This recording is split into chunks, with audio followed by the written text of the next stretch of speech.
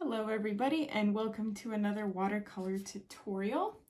Today we are going to be painting something very simple, uh, but sometimes we need a little bit of simplicity so that's what I'm going for.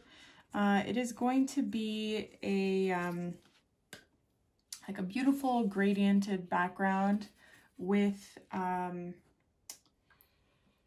with a chain link fence over top to give us that silhouette. Uh, and this is inspired by art by Oviya. Um, so I'm going to start out, it's going to be a very simple gradient. I'm taking a yellowish orange color and um, I'm just applying that to my base and we are painting in portrait position. Um, applying that yellow and I'm gonna put it a little bit higher than I would like it to be in my gradient because when we put on the, um, the darker color over top, it's going to overtake some of it. So I wanted to account for that. So I'm taking my color here, which is like a pinkish color, pinkish red and I'm going to just mix that right in. And see how it overtakes it? So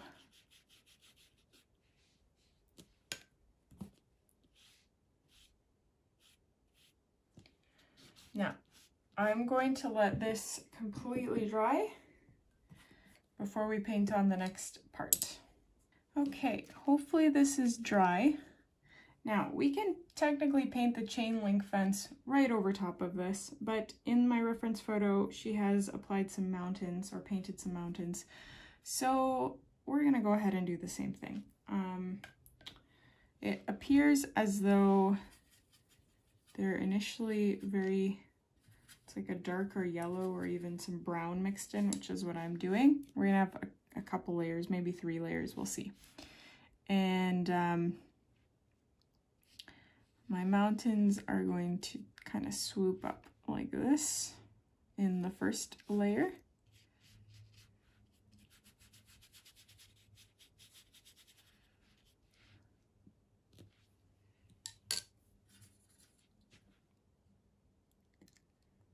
And I don't want them to be smooth, which is why I'm going in with a another paintbrush holding it a little bit horizontally to the paper and I'm just adding some kind of rough edges to rough it up a little bit. That's better. Okay, so we're gonna let this layer dry before we paint the next one. Okay, so for the second layer, I'm gonna add a little bit more brown to this one, or black, to darken it a tad because we want it to be a little bit darker than the, the layer uh, underneath. And I'm tempted to have it overlap on this side a little bit.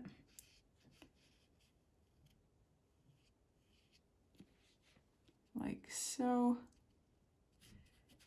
Same thing, bring it down all the way to the bottom. and I'm going to again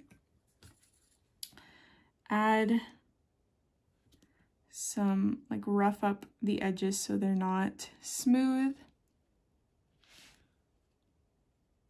And you can even go up higher and kind of make pine trees if you want to complicate it a little bit more. By all means, I have no desire to do so. Okay, so let's let this dry and then we'll paint a third layer.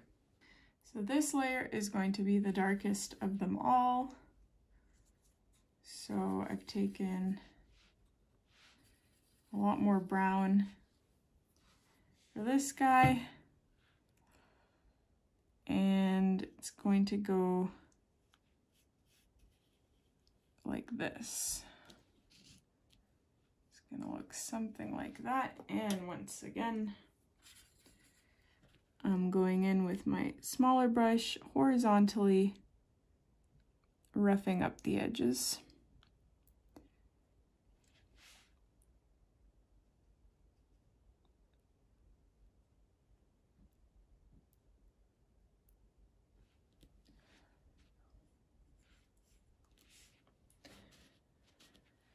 Okay, that might actually have been too dark because I wanted, you see how you can still see some of the yellow illuminating through those layers where, whereas my last layer, it's very much um, not that way.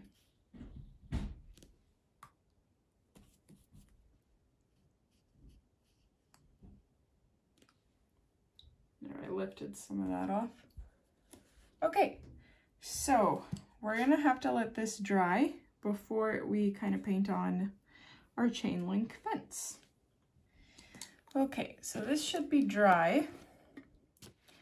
Um, now what I am going to do is use a pencil first to paint, uh, sorry, to draw my chain link fence so that I have a reference. Uh, because if I just were to paint it, then I will inevitably mess up. So I'm going to start just on the left side here and it's going to, I mean, you know what a chain link fence roughly looks like, right? So it's just going to be these long swirly lines that have rounded almost 90 degree angles. So like this, like this.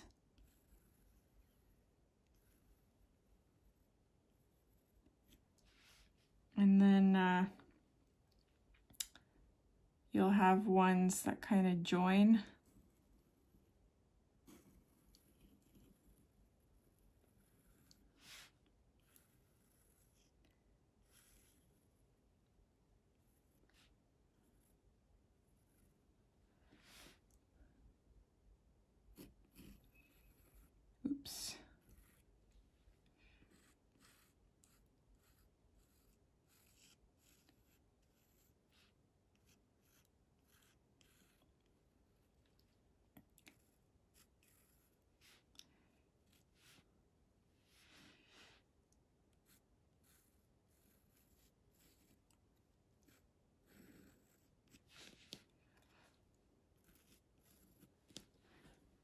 There we go. And you can make your chains, your links smaller if you wish.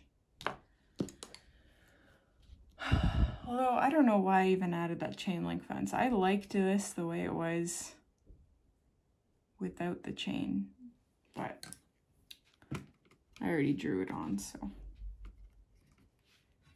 I'm gonna take black watercolor now.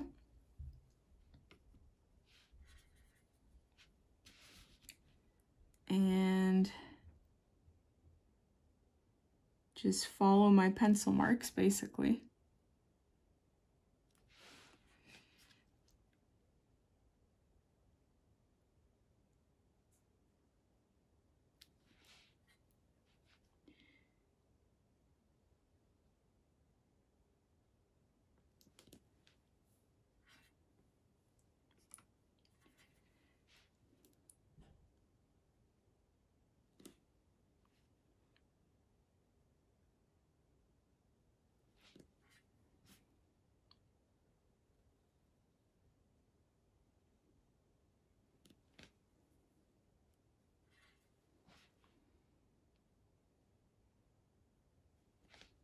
I've been trying to sell this one item on Marketplace for a couple months now, and I almost got, I think I only got one reply within those couple months, and it was a, a lowball offer, so I didn't entertain it. But all of a sudden, this morning, I get three replies, all wanting it, which makes me think that there's some sort of algorithm at play that promotes certain things over others because there's no way that suddenly three people would be interested in this item when it's been up for so long and there has been no interest.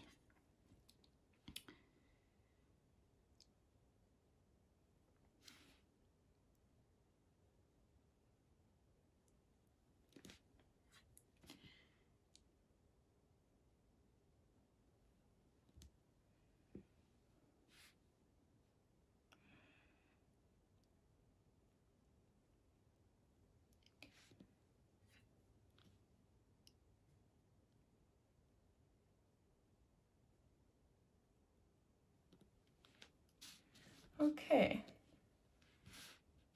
I can, once this black dries, I'm going to erase all the pencil marks that I didn't paint over. Um, now, this is looking a little bit bare to me. So we can add some birds like the original artist did. Flying in the distance here.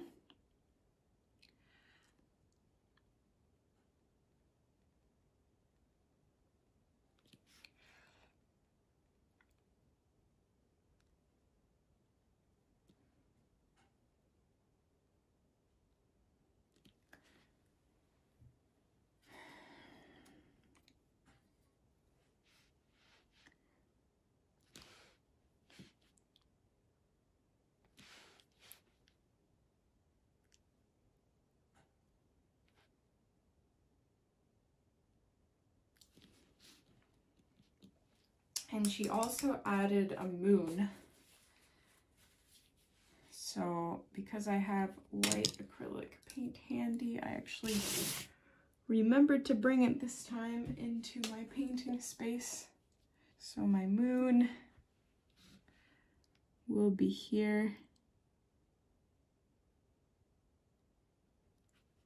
I'm really not good at doing the crescent moon shapes but I'm going to try. No, I'm not. Who am I kidding?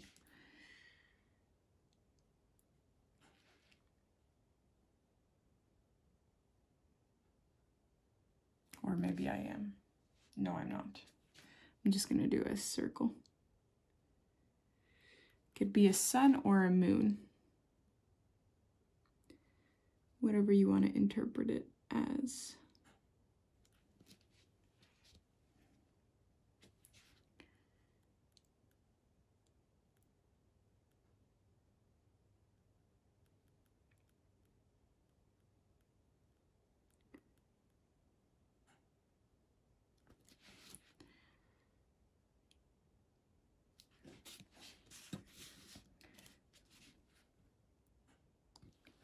Oh gosh, was that even on the camera?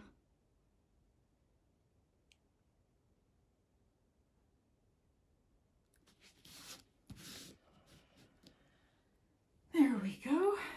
And you know what? If you want to potentially mess up your painting, like I tend to want to do, you can pick up some silver or white if you don't have silver, white will do. And add highlights to your birds. I don't really like that. Oh, you know what? We can add um add it to the add silver to the fence because this fence probably is silver.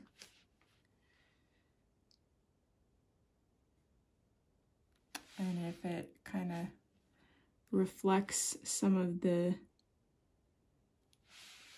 moon or sunlight, whatever you want to interpret that as.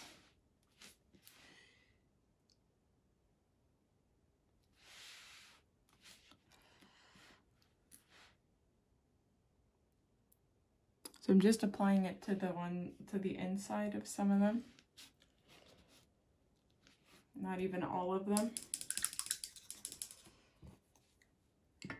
Okay, I'm not going to bore you and wait until this dries so I can erase the pencil marks. That's pretty straightforward, but I think I'm going to leave it at that. Usually I would add like a tree or something to spruce this up because it's a little bit plain, but that's okay. We can have a simple painting once in a while. So let me know what you guys think of this one. Um, don't forget to hit like, subscribe if you haven't already, and I'll see you in the next tutorial.